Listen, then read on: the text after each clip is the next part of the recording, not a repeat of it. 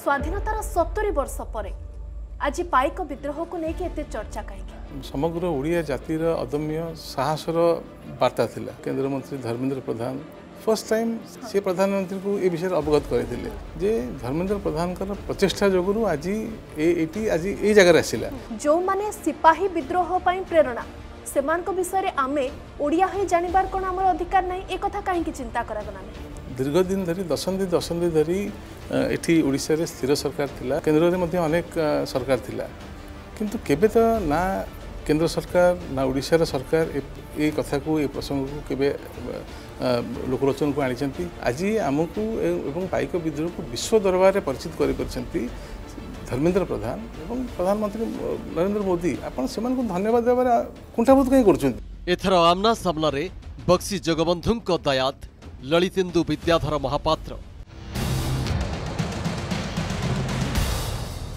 ଶନିବାର ସନ୍ଧ୍ୟା ସାତଟା ତିରିଶରେ